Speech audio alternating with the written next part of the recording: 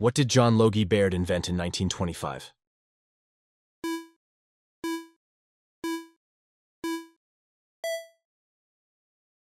The answer is television.